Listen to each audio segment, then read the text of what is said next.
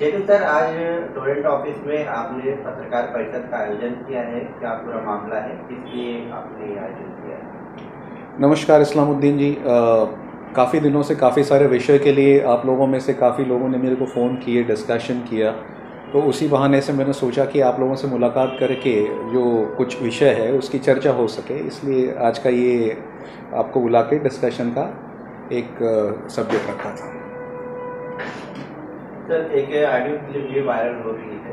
जो Torrent office की बताई जा रही है किसी अधिकारी का कुछ बिल के संबंधित में तो उस ऑडियो क्लिप की दरअसल क्या मामला है पूरा और किस तरह का देखिए वो वीडियो एक वायरल हो रहा है। वीडियो में आ, किसी ग्रुप ने ऐसा बोला है कि टॉरेंट का ये ऑडियो क्लिप है टॉरेंट का कोई एम्प्लॉय या टॉरेंट का कोई मेंबर किसी के विजिलेंस केस के लिए उसको फ़ोन कर रहा है। जबकि ये गलत बात है, वो ऑडियो हमने भी सुना, वो वीडियो हमने भी सुना, उसका इन्वेस्टिगेशन किए बगैर किसी ग्रुप ने बहुत ही ब्लेटेंटली बोल दिया है कि वो टॉरेंट पावर के एम्प्लॉय ने कॉल किया है और टॉरेंट पावर का एम्प्लॉय किसी को वसूली या बिल कलेक्शन के लिए विजिलेंस के लिए प्रेशराइज कर रहा है। उसका हमने इन्वेस्टिगेशन किया, उसका चेक किया तो वो फ़ोन नंबर जो हमारे पास आया था, वो फ़ोन नंबर हमारे रिकॉर्ड्स में कहीं रजिस्टर्ड नहीं है। हमारे किसी एम्प्लॉय का फ़ोन नंबर नहीं है। दूसरा, वो आप फ़ोन नंबर अगर ट्रू कॉलर पे देखेंगे या रिकॉर्ड्स में देखेंगे तो सुमित पाटिल करके कुछ दिखाता है। तो ऐसा सुमित पाटिल करके हमारे एम्प्लॉयज़ में भी कोई नहीं है। और हमारे लोग इस तरीके से बात नहीं करते, आप उसको सुनिए। हमारे लोगों को अच्छा ट्रेन किया जाता है। कोई अगर कोई रिमाइंडर कॉल भी करता है तो वो कस्टमर केयर में आके मिलने के लिए रिक्वेस्ट करता है कि आप आके मिले और ये सब्जेक्ट जो है उसका डिस्कशन करें। तो ये बंदा जो कॉल कर रहा था, पता नहीं कौन था बट टॉरेंट पावर ने उससे रिलेटेड पुलिस में कंप्लेंट कर दी है। टॉरेंट पावर ने वो ग्रुप के अगेंस्ट भी कंप्लेंट की है, जिन्होंने टॉरेंट को, वो वीडियो को लेके बदनाम किया हुआ है कि भाई ये टॉरेंट का कोई एम्प्लॉय लोगों को प्रेशराइज कर रहा है। तो मेरी यही रिक्वेस्ट है कि भाई आप कुछ भी टॉरेंट के नाम पे बोलने के पहले थोड़ा सा फैक्ट्स को वेरीफाई कर ले, थोड़ा सा सच क्या है, जान ले, थोड़ा सा होमवर्क कर ले, उसके बाद में आप अगर कुछ है तो टॉरेंट पावर में आके बात बिल्कुल कर सकते हैं। अगर आप कह रहे हैं कि वो टोरेंट का कोई कर्मचारी नहीं हो सकता है तो फिर वो इस तरह से बात कर रहा है कि मैंने कहा था जमा कर दीजिए नहीं प्लान उसमें प्लांटिंग लग जाएगी। तो क्या ऐसा माना जाए कि कोई किसी टोरेंट के अधिकारी से वो व्यक्ति टच था, किसी का भी काम करवा, करवाता था, ले जाकर वहाँ ऑफ़िस में?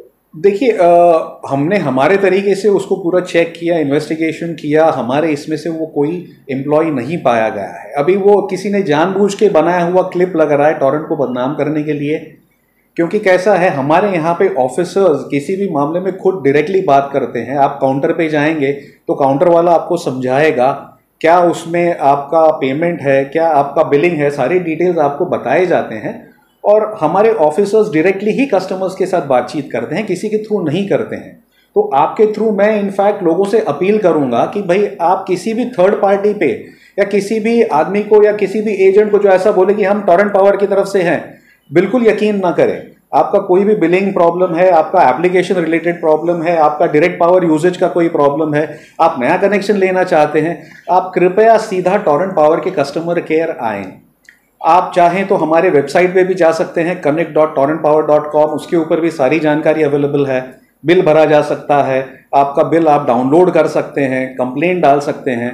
हमारा मोबाइल ऐप भी है टॉरेंट कनेक्ट आप उसको यूज़ करके भी सारी चीज़ें कर सकते हैं। तो कृपया करके आप प्लीज़ ये किसी थर्ड पार्टी को अपने बिल रिलेटेड या टॉरेंट पावर रिलेटेड मसलों के लिए अप्रोच ना करें। ये काफ़ी सारे लोग ठग हैं जो लोगों की ठगी कर रहे हैं टॉरेंट पावर के नाम से। एमएससीबी के टाइम का जो बिल बकाया था। तो वो भी आप वसूल करेंगे या उसमें कुछ रहेंगे देखिए एमएससीबी के टाइम का बिल अगर किसी का बाकी है कोई बिलिंग डिस्प्यूट है और उनको उसमें कोई दिक्कत है तो मैं रिक्वेस्ट करूँगा कि कस्टमर आए हमारे कस्टमर केयर में एप्लीकेशन करें हमारे ऑफिसर्स से बात करें उसमें क्या रिव्यू करने के बाद बिलिंग करेक्शन अगर रिक्वायर्ड है तो हो जाएगा अगर नहीं है तो उसमें क्या कस्टमर के लिए हम सपोर्ट करने के लिए उसको इंस्टॉलमेंट करके दे सकते हैं या पार्ट पेमेंट करके दे सकते हैं वो सेंटर से उनको बताया जाएगा।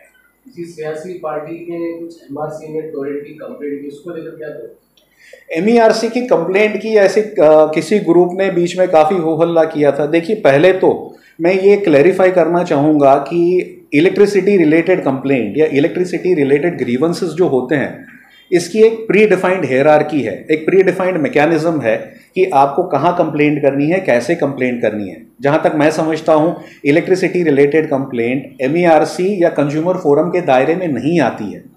कुछ लोग अपने तरीके से हो हल्ला करते हैं कि एप्लीकेशन किया कंप्लेंट की मैं उनके बारे में कुछ नहीं बोलूँगा, लेकिन मेरा एक ही ये है कि भाई, आज तक अगर कहीं पे कंप्लेंट हुई है या कहीं पे किसी ने कुछ एप्लीकेशन किया है तो टॉरेंट के अगेंस्ट ऐसा कोई ऑर्डर आया नहीं है, या टॉरेंट कुछ गलत काम करी ऐसा कहीं पे भी नहीं आया है।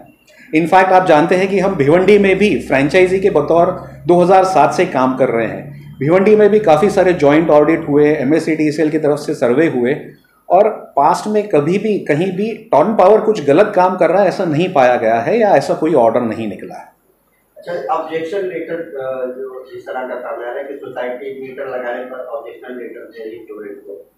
इस पर देखिए लेटर मिलने के बाद और मीटर लगाना रोक दे रही देखिए पहले तो ये समझना बहुत ज़रूरी है कि टॉरेंट पावर जो मीटर लगा रहा है खुद का मीटर नहीं लगा रहा है। टॉरेंट पावर कोई मीटर मैन्युफैक्चर नहीं करता है। टॉरेंट पावर जो मीटर लगा रहा है, ये एमएससीडीसीएल के गाइडलाइंस के हिसाब से एमएससीडीसीएल के अप्रूव्ड वेंडर्स के मीटर है, जो पूरे इंडिया में मशहूर वेंडर्स हैं। इनका लगाने के पहले टेस्टिंग होता है। कस्टमर जो मीटर्स पुराने हैं एमईआरसी के गाइडलाइंस के हिसाब से या एमएससीडीसीएल के गाइडलाइंस के हिसाब से वहाँ पे लगाए जाते हैं। दूसरा कस्टमर को ये समझना ज़रूरी है कि central electricity regulatory commission C जो है, इनके गाइडलाइंस के हिसाब से समय समय पर पावर यूटिलिटी ने एडवांस्ड मीटर नए मीटर जिसमें सारी फैसिलिटी हो, लगाना ज़रूरी है और उसका हर यूटिलिटी को, हर पावर कंपनी को अथॉरिटी भी है।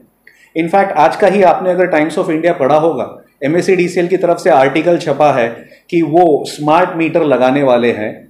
एम एस की तरफ़ से पुराने मीटर बदल के स्मार्ट मीटर सब जगह लगाए जाने वाले हैं। तो उसी तरीके से जब जब ज़रूरी हो, अगर मीटर पुराने हो गए हैं, ख़राब हो गए हैं तो पावर यूटिलिटी को राइट होता है कि वो मीटर को अपग्रेड करें और सही दुरुस्त एडवांस टेक्नोलॉजी के मीटर लगाएँ। दूसरा, आपके ज़रिए से मैं ये भी कहना चाहूँगा कि अगर कस्टमर किसी वजह से टॉरेंट पावर द्वारा लगाए गए मीटर नहीं लगाना चाहता है तो वो खुद का मीटर भी लगा सकता है। आपको कस्टमर केयर अप्रोच करना है वहाँ पे एप्लीकेशन देना है कि हम हमारा मीटर लगाना चाहते हैं। वहाँ से आपको प्रोसेस समझाया जाएगा कि आपको क्या करना है और कौन से वेंडर्स के मीटर आप लगा सकते विलास देशमुख के तहत जो पीडी मीटर्स थे हमें फ़ायदा मिल रहा था इसके पहले। हम्म। वो अभी बंद हो चुका है या अभी भी शुरू शुरू हो चुका है? देखिए विलासराव देशमुख योजना अभय योजना जो थी ये 31 दिसंबर तक थी। इसके लिए हमने काफ़ी सारा पब्लिक अवेयरनेस किया एडवर्टीजमेंट किया इसके बावजूद आ, मैं ये नहीं कहूँगा कि रिस्पॉन्स नहीं आया बट जैसा चाहिए था वैसा रिस्पॉन्स नहीं आया। मुमरा में लगभग लाख एक लाख के ऊपर ऐसे कस्टमर्स हैं जिनका पीडी बकाया बाकी है। और ये स्कीम में शिल कलवा मुमरा में से लगभग 2200 लोगों ने ही इस स्कीम का फ़ायदा उठाया है। एक लाख से अधिक लोगों का शिल कलवा मुमरा में जो बाकी है उनमें से सिर्फ़ 2200 लोग ये स्कीम का फ़ायदा उठाए हैं। मेरी लोगों से गुजारिश है कि अभी स्कीम तो ख़त्म हो गई है लेकिन आपका अगर पीडी बकाया है, आप प्लीज़ हमारे कस्टमर केयर आए, उसको क्लियर करें और रेगुलर पावर सप्लाई यूज़ करें। Irregular power supply unauthorise power supply गैर कानूनी बिजली का वापर ना करें। उसे चोरी माना जाता है, उसमें विजिलेंस का केस आपके ऊपर हो सकता है। इलेक्ट्रिसिटी एक्ट सेक्शन 135 के तहत। तो प्लीज़ आप गैर कानूनी बिजली का इस्तेमाल न करें। आपका अगर बिल बकाया है, आपका अमाउंट जमा हो गया है जिसको आप क्लियर करना चाहते हैं आप Torrent power customer care approach करें उसमें आपको कैसे सपोर्ट किया जा सकता है आपको इंस्टॉलमेंट दिए जा सकते हैं या आपके लिए पार्ट पेमेंट हो सकता है क्या हो सकता है ये कस्टमर केयर से आपको बिल्कुल गाइड किया जाएगा। एक बात ये भी पिछले दिनों जो हादसा हुआ था टोरेंट कर्मचारी की मौत हुई तो किस तरीके से टोरेंट पावर कर्मचारी को सेफ्टी प्रोवाइड करती है? देखिए कैसा है कि आ, वो बहुत अनफॉर्चुनेट इंसिडेंट था कि एक्सीडेंट हुआ और किसी की जान गई। लेकिन उसमें आ, उन्होंने सेफ्टी के जो ग्लव्स होते हैं वो नहीं पहने थे। वो कॉन्ट्रैक्ट पहले तो वो टॉरेंट पावर के एम्प्लॉय नहीं थे किसी कॉन्ट्रैक्टर टीम के कोई मेंबर थे। मीटर का काम कर रहे थे और हादसा हो गया और उनकी जान चली गई। हम जानते हैं कि बहुत ही अनफॉर्चुनेट इवेंट था वो। बट एक चीज़ बहुत ज़रूरी है समझना कि इलेक्ट्रिसिटी का काम करते वक्त सेफ्टी औज़ार जो होते हैं सेफ्टी इक्विपमेंट्स जो होते हैं, ये बहुत ज़रूरी होता है पहनना। जैसे ग्लव्स है, आपका हेलमेट है, आपके बाकी के शूज़ हैं या जैकेट है, उन्होंने सेफ्टी के जो ग्लव्स होते हैं, वो नहीं पहने थे और उस वजह से वो हादसा हो गया। लेकिन प्रोसेस के हिसाब से कंपनी ने उसमें जो भी है, वो उसको सपोर्ट करने के लिए काम किया हुआ ऐसा बताया जा रहा था कि उनका कोई सीनियर, कोई वरिष्ठ टोटल का अधिकारी वहाँ पर मौजूद नहीं था, सिर्फ़ दोनों कर्मचारी के अलावा।